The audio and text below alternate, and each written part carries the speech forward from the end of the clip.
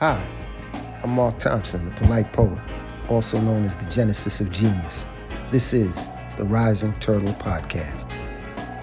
In 2024, look out for the Mark Thompson Project, which includes part two of the award winning documentary Uncomfortably Comfortable, along with the Rising Turtle Podcast and the stage musical Contralto Soul, which is poetry in music motion.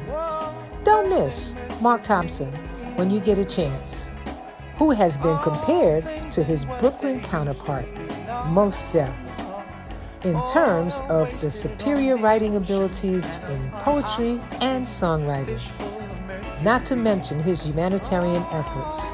For more information on the Mark Thompson Project and other H&H productions, visit us at harrissistersinsync.com.